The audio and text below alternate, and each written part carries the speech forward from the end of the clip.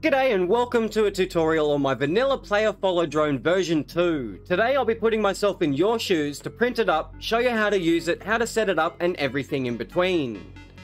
Couple little notes, on the left is the base game and on the right screen is the one with a multi-grid projector plug-in for the fact that it will allow you to build the turret that you see on the bottom much much easier instead of you having to build it and place the blocks yourselves including having to place that overridden thruster in the turret controller up the top. But don't worry, I'll show you everything like that with and without that multi-grid projector plugin.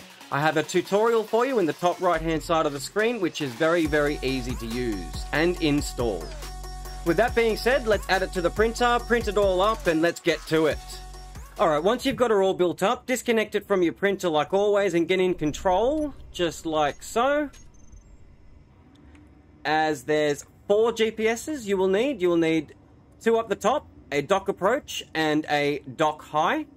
You're more than happy to name them what you want, but that's where they need to be. You need a dock for the connector itself and a close dock that's in front of it. So let me just connect this all up. I'll show you how it's all set up.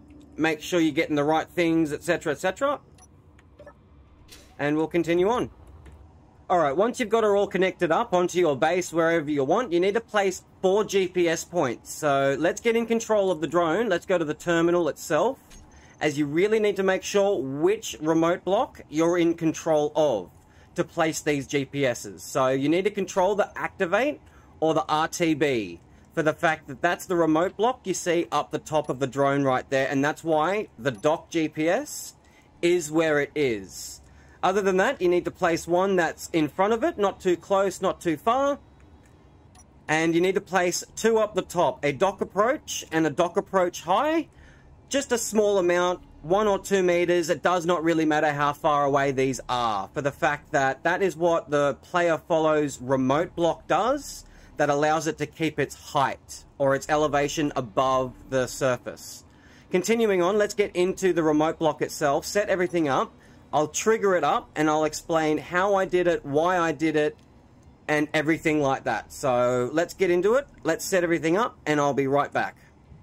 Alright, so to reiterate what I've actually done here is I've added two dock approaches instead of the dock approach and the dock approach high. For the fact I want it to go above where it is now to the dock approach lower one and then swap its remote block over. When it does that, it's going to turn on a sensor whether the player is close to the drone or not, and if I want it to follow my player or not. So if it's in idle or if it's in chase mode. When it finishes and when it's low on battery, it will then trigger back to the activate remote block and then go back to the dock approach, come down to the close dock and actually have a backward command on that remote block to back up onto the dock and start that secure dock timer. Really easy, really simple. So once it's finished that dock approach and it wants to chase my player, it'll turn on one of the sensors and actually swap over to another remote block to actually keep its height above the surface of the planet. And what it will do is that it will continuously fight to try and go towards either of those GPSs at a really low speed. But while it's doing that, this sensor right here is depending whether or not my player is close to the drone. So if I want to chase the player or not.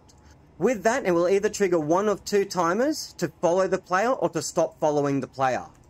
Once it does that in those two timers, it will just turn on the controller, turn on the actual top thrusters to make sure that it was actually slow itself down, and it will start a stop timer or a slow down timer. And what this slow down timer does is that it re-triggers itself every three seconds by starting itself and by turning off its directional thrusters up here on and off every three seconds. What that allows it to do is that it allows it to fly towards me at a set speed or not fast enough that it will actually swing by me and just keep swinging.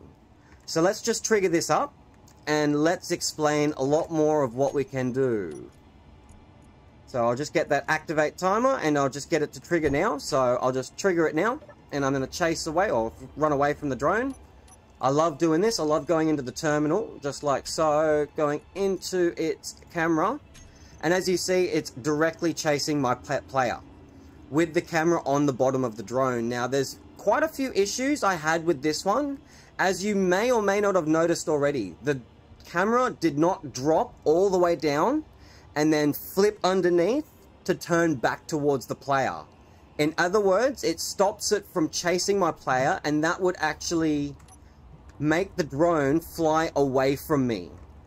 So this thruster right here is controlled by this control turret right here. And what it's going to do is that if the camera sees me, I want it to turn on that overridden thruster. If it doesn't, I want it to turn it off, easily thrusting itself towards me. But at the same time, I had problems with this camera here flicking underneath and still having that thruster pointed in the wrong direction away from my character so it would just fly away and say bye.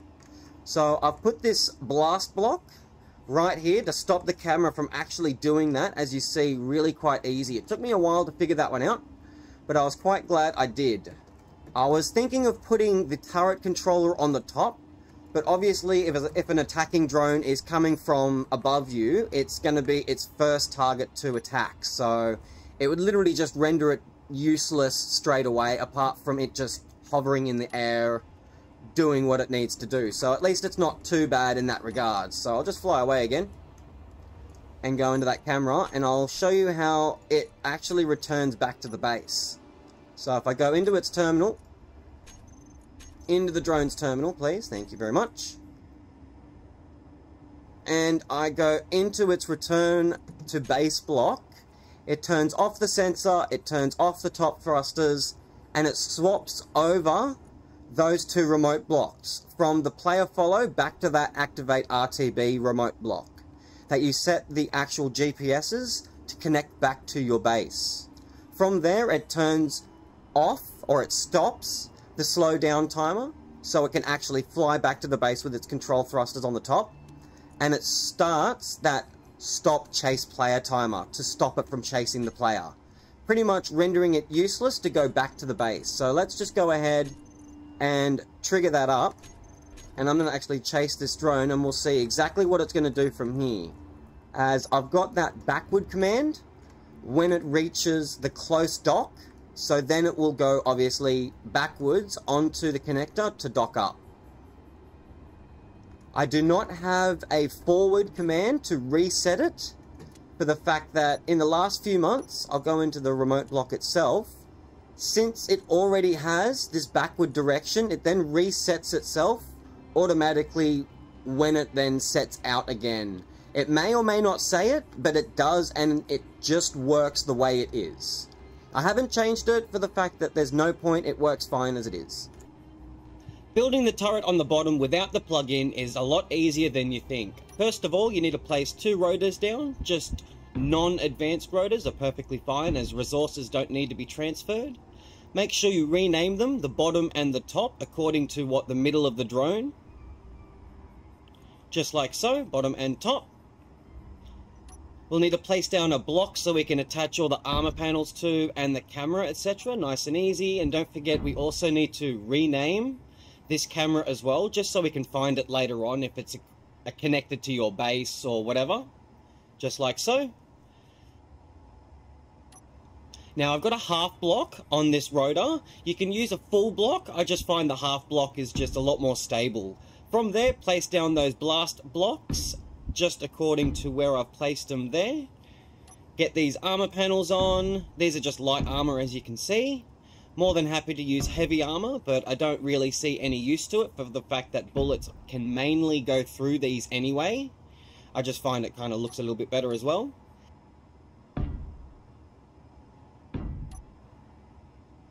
Next of all, you want to place down the small atmospheric thruster and rename it the override, just so you know which one is which later on. Just like so, override. There we go. Lastly, we just need to go into the turret controller, set everything up, Make sure all the rotors are connected and all that good jazz. So we'll just get the bottom one there and the top one there, including the assigned camera for the turret that we renamed as well. Lastly, we just need to get that thruster to turn on and off, whether it sees the player or not, just like so. There we go. And last but not least, we need to actually go to that override thruster. Make sure you have it turned off first, just like so, and then override it. From there, set up your remote block, all that good jazz, and you're good to go. Nothing else needed to be done. Now, I'm usually really bad at the sign-offs, so make sure you hit that subscribe and like and all that good jazz. Till next time, stay sharp. See ya!